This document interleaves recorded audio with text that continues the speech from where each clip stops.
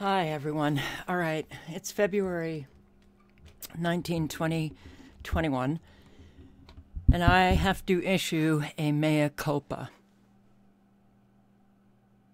to take responsibility for not thanking all of you who have sent donations. And, you know, this comment, I'd love to get angry at the person, but I can't, and I won't because they're right, but it's not for lack of care. I had an awful lot going on. I still have an awful lot going on. And to tell you the truth, you know, to admit it, to admit I have been pretty depressed. I've really been struggling. And my main number one priority has always been to get information out. And if I don't post, there's no point to my existence. I'm not kidding. My life literally got emptied out, destroyed, and this is all I have. So that's why, for me, when a channel goes down, it's very hard. And I am being very honest, and I'm being honest so you understand, but I'm not, this is not me, you know, looking for sympathy um, at all. I'm just trying to explain what has been going on. Now, I stupidly took off a whole chunk of videos from my channels. And those videos explain what was happening the Just Talking videos. Everything that I was going through in South Carolina, getting uh, going through that whole eviction process, you know, for feeding cats that management of the apartment complex actually had started this feral cat community, put up feeding posts, feeding stations at the apartment complex. And when you feed cats for a while, they begin to rely on you. That's the problem. Because you may not be able to feed them for their life. Anyway, what happened was they pulled the plug on it and evicted an awful lot of people. Awful lot. Um, four people that I know got booted out for feeding cats. So, the eviction process, all of the stress around that, then, you know, um, getting a house through a neighbor who really just, I'm still shocked by what took place. And if any of you know, have seen those videos, then you know what I'm talking about. The uh, about face after I had paid for the inspection and asked for donations uh, to get early occupancy because there's just too much to explain. But we were having a problem uh, closing on, yes, bureaucratic bullshit just having to wait and wait and wait for something that a student loan of hers that was already government agencies had already um, approved the discharge of the loan because of her disability, but it hadn't shown up on a particular site. So the closing didn't happen, and then we needed early occupancy because we were being kicked out of our apartments, and it was hell.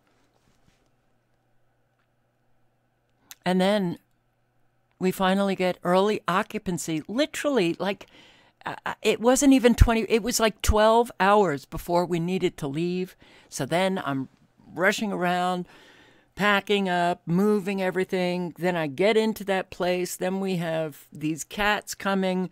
And I told her to slow down on the cats, and no, she wouldn't. And then she about faced and turned and said she didn't want to do the house and then told the realtor who who was obligated to tell the owner, which meant we had three days to get out of that house because that was a stipulation in the early occupancy agreement. I hope that you've understood any uh, any or or well, hopefully all of what I just said.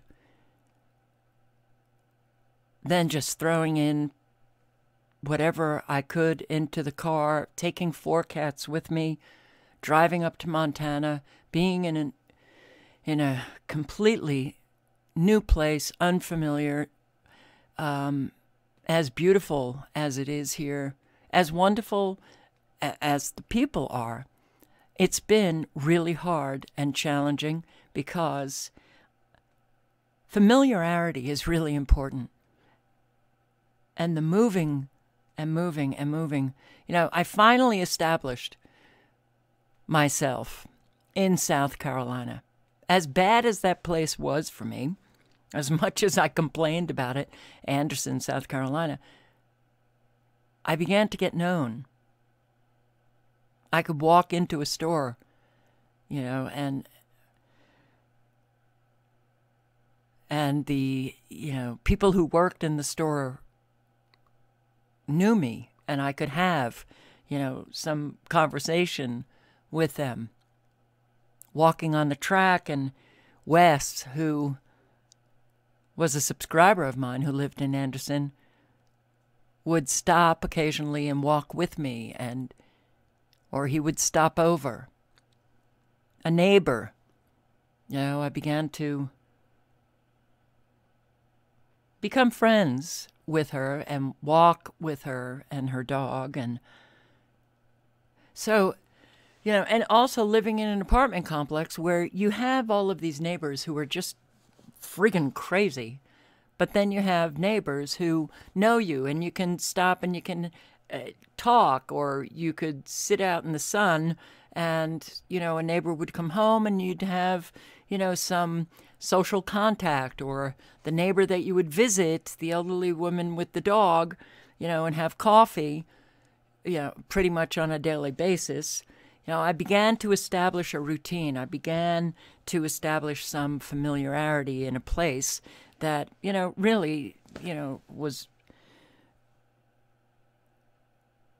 you know, it's it was just not a place, you know, where I could actually create the kind of life that I had up in Massachusetts, Great Barrington. But it began to work for me. You know, and I, all of the stress around the eviction and my head just exploding from what took place with Charlene, the neighbor who I, I'm I'm still in shock. I feel, you know, I'm out close to $7,000. And that whole thing set me back. You know, it, it's been a really challenging time.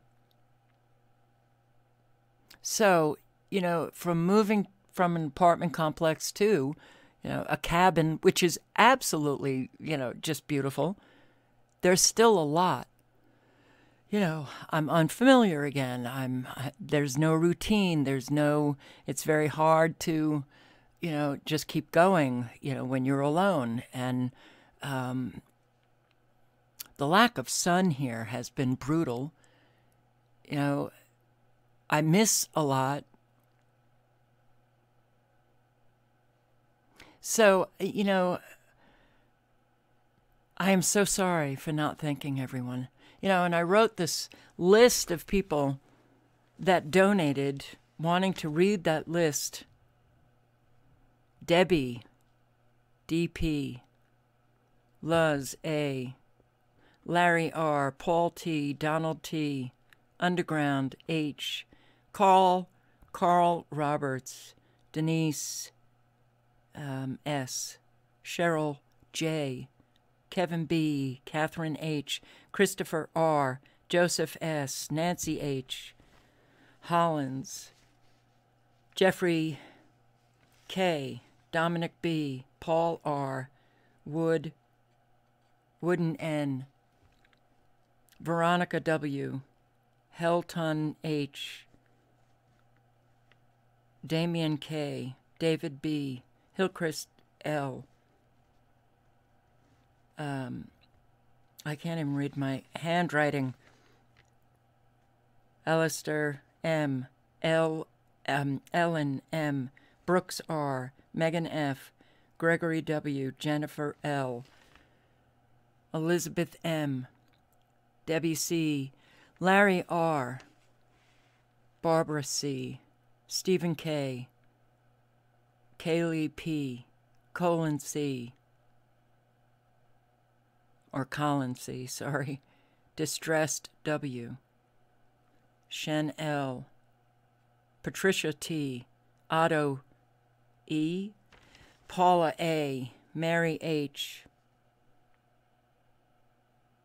Kahari A. Robert S., Nathan P., Fran E., Larry L., Kevin I., Regina H., Linda R., Virginia R., Amy G., Greg S., Justine D., Pauline M., John Jack, Jacqueline R., Bethany V., Patrick K., um,